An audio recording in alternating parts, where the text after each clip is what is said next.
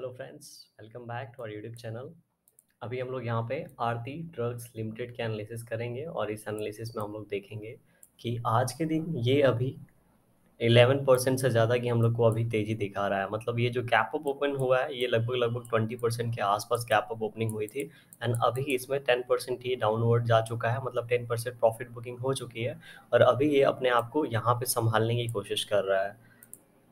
तो अगर यहाँ पे थोड़ा-सा हम लोग यहाँ पे ज़ूम करके इसको समझने की कोशिश करेंगे, तो यहाँ पे प्राइस एक्शन जो बिल्ड हो रहा था, ये 450 का लेवल था जो कि इम्पोर्टेंट लेवल था, ठीक है? बायर्स क्या यहाँ पे ट्राई कर रहे थे ये बायर्स ट्राई कर रहे थे, इसके ऊपर ये जाके क्लोजिंग दे दे। लेकिन इसी लेवल के आसपास हम लोग को रिजेक्शन मिल रहा था हर बार।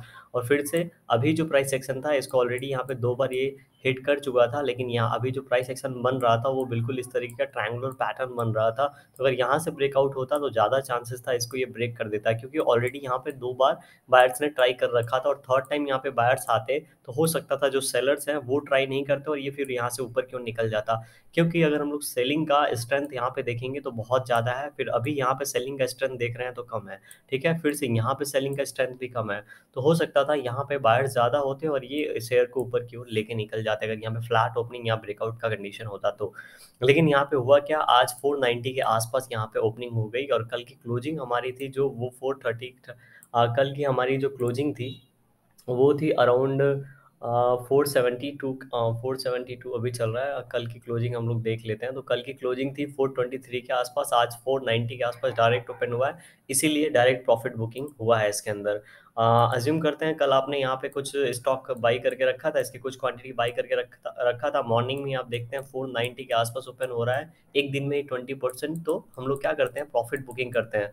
अक्सर लोग यहाँ पे प्रॉफिट बुकिंग कर लेते हैं, क्योंकि जिनका स्विंग ट्रेड होता है, उनको तो बहुत ही अच्छा खासा प्रॉफिट मिल गया है। एंड ओवरनाइट ये जो प्रॉफिट मिलता है, ठीक है, ये देख के हमें डर लगता है, कहीं यहाँ से अब नीचे फॉल ना हो जाए, क्योंकि यहाँ पे इतना बड़ा ये गैप अप गैप क्रिएट हो चुका है, ठीक है? तो इसलिए प्रॉफिट बुकिंग होती है और यहाँ पे ये रेड कैंडल आज के दिन बन रहा है।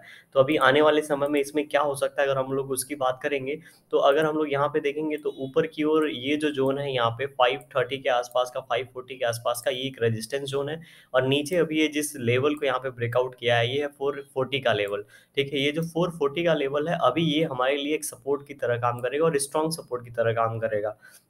बिकॉज़ ये लेवल को ये शेयर बहुत बार ब्रेक करने की कोशिश किया था लेकिन कर नहीं पा रहा था, अभी इसके ऊपर निकल गया तो ये अभी एक स्ट्रॉन्ग सपोर्ट की तरह यहाँ पे काम कर सकता है।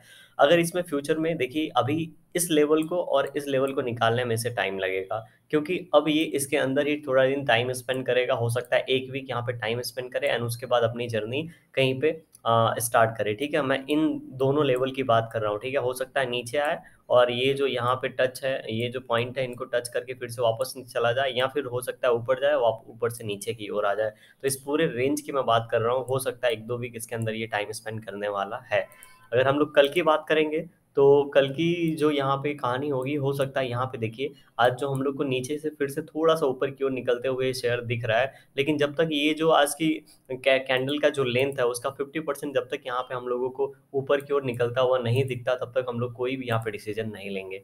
देखिए, आज का कैंडल जो है इतना बड़ा है अगर यहाँ पे मैं फीबो लगाने वीवो लगा के अगर मैं यहाँ पर चेक करता हूँ तो इसका जो 50 परसेंट का लेवल है, ठीक है, वो है अराउंड 774 तो अगर ये 480 के ऊपर निकलता है किसी भी कंडीशन में, ठीक है 480 के ऊपर निकलता है तो हो सकता है ये इसमें थोड़ा सा स्ट्रेंथ और है और यहाँ पे ये अपने आप को सस्टेन करके ऊपर निकलने की कोशिश कर रहा है। तो 480 के आसपास हम लोग क्या कर सकते हैं, दस दस रुपए का स्टॉप लॉस लगा के ये जिसने हाई लगाया इसका टारगेट कर सकते हैं प्लस ये हाई के पास आएगा तो इसको रेजिस्टेंस फिर से मिलेगा क्योंकि यहाँ से सेलिंग हुई है, ठीक है प्रॉफिट बुकिंग भी हुई है और सेलिंग भी हुई है। तो जो सेलर्स हैं, इस पोजीशन को डिफेंड करने की कोशिश करेंगे। एंड ये शेयर फिर से नीचे आएगा एंड उसके बाद जाके ब्रेक करता है तो ये ब्रेक करके फिर से ऊपर की ओर निकलेगा। एंड जो ऊपर का टारगेट हमने यहाँ पे डिस्कस किया है, ऊपर का जो रेजिस्टेंस हमने डिस्कस किया है, उस पॉइंट को ये हिट करने की कोशिश करेगा और हो सकता है हमें वहाँ तक का प्रॉफिट देखने को मिल जाए। प्लस अगर ये इन लेवल्स के हो सकता है कल के दिन, इस जिस लेवल को मैं बता रहा था 480 के लेवल को ब्रेक नहीं करता है तो हो सकता है एक दो दिन ये इसी लेवल 480 से लेके ये इसका जो आज के कैंडल का लो है, इसके बीच में एक दो दिन टाइम स्पेंड करे।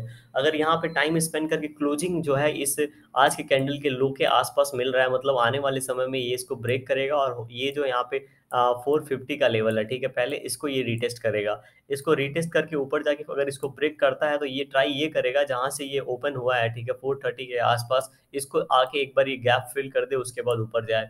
मैं, देखिए, यहाँ पे गैप फिलिंग का कंडीशन थोड़ा सा अभी यहाँ पे हो सकता है, इसमें टाइम लगे बिकॉज़ आज जैसा यहाँ पे क्लोजिंग मिला है ट्वेंटी परसेंट यहाँ पे अच्छा यहाँ पे कोई गुड न्यूज़ होगा, इसलिए यहाँ पे इतना ऊपर कोई तो कोई न्यूज़ होगा, इसीलिए इतना ये ऊपर ओपन हुआ है तो हम लोग को यहाँ पे चार्ट से ये चीज़ें पता चल जाती हैं, ठीक है? तो अभी ये यहाँ से अगर नीचे ब्रेक करता है तो हम लोग वेट एंड वॉच करेंगे, क्योंकि अगर देखेंगे तो यहाँ पे हमारे पास ये ट्रेंड लाइन है, ठीक है? चलिए मैं डिलीट कर देता हूँ।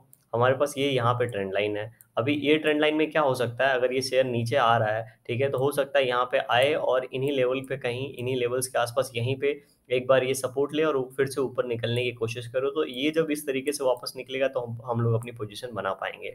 अभी फ़िलहाल बात करूँगा तो हो सकता है अगर ये एफएनओ में होगा शेयर तो ये क्या करेंगे? ये ऊपर से ये कॉल शॉट और नीचे का यहाँ पे ये पुट शॉर्ट करके रख देंगे और अच्छा खासा स्ट्रैंगल बना के इसमें रख देंगे। तो क्या होगा? आने वाले, मुझे लगता है एक दो वीक ये इसके अंदर ही टाइम स्पेंड करेगा। तो जो भी यहाँ पे चल रहा होगा, ठीक है? जो भी सी और पी का वैल्यू चल रहा होगा, वो ज़ीरो हो जाएगा और उसमें हम लोगों को कुछ पैसे मिल पाएँगे। लेकिन वो देखना पड़ेगा आपको, ठीक है? तो यहाँ पे ये है, अभी हम लोग कोई यहाँ पे डिसीज़न नहीं ले रहे हैं। आने वाले समय में जब तक ये लेवल्स हमारे ब्रेक नहीं होते, तब तक हम लोग कोई डिसीज़न नहीं लेंगे। तो आशा करता हूँ आपको पता चल गया होगा आने वाले एक दो वीक में और कल के दिन ये यहाँ पे क्या सिचुएशन बन सकती है।